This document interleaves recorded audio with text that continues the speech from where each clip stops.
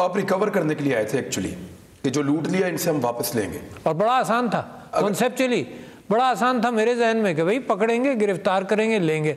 लगता था आसान। हाँ बहुत आसान था है उतना आसान? इतना आसान नहीं है। कितना मुश्किल है? क्योंकि इसके अंदर जब आप डिपेंडेंट हैं दूसरे इदारों के यानी या तो खुद होता। आप एग्जीक्यूटर होते आप जज होते आप जज भी नहीं है।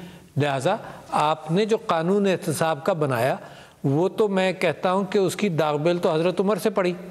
है ना? सीधी सादी बात है हज़रत उमर रज़ी उन्होंने वहाँ पर यह हुआ कि वॉट यू हैव आपको प्रूव करना है कि कहाँ से आया ये क्लियर हो गया ना? उन्होंने कहा कि जी आपके पास दो चादरें कहाँ से आई? है ना? ये बहस नहीं थी कि तुम ये सवाल मत करो और पहले ये प्रूव करना है कि ये दो चादरों का है कुछ नहीं। है ना? तो ओनस था हज़रत उमर के ऊपर कि वो बताएँ कि कहाँ से आई। ये पाकिस्तान का जो नैब ऑर्डिनेंस है उसकी रूह भी यही है।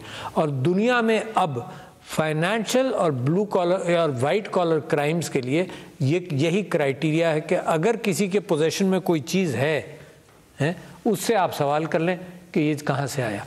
अच्छा अब अदालत हमारी किस चीज़ की आदि है?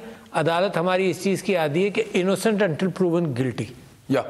लिहाजा ये जो मिक्स एंड मैच है ना ये अदालतों के अंदर इसमें इतनी ताखीर भी होती है कि जो चोर है वो भी गायब पता भी नहीं चलता कहाँ। कल परसों मैंने पढ़ा कि जनाब डॉक्यूमेंट गायब हो गए किसी केस के। हैं? है ही नहीं डॉक्यूमेंट्स पिछले दिनों मेरे पास एक फ़ैसला आया नैब के एक आदमी का जिसने एक बहुत बड़े चोर का कि सारी लीज डॉक्यूमेंट जो उसके सेक्रेटरी के पास से उसे घर के से बरामद हुए थे वो उसने कहा जी मेरी अलमारी में से चोर हो गए। चोरी हो गए। करोड़ों रुपए के डॉक्यूमेंट्स।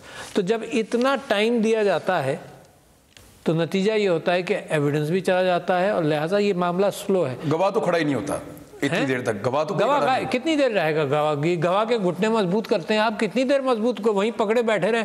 दस साल तक। ऐसा होता नहीं है तो गवाह भी